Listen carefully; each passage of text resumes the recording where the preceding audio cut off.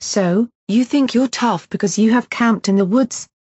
Well, imagine living only on your natural resources and providing everything for yourself. That's right. Native Americans didn't have McDonald's or Subway.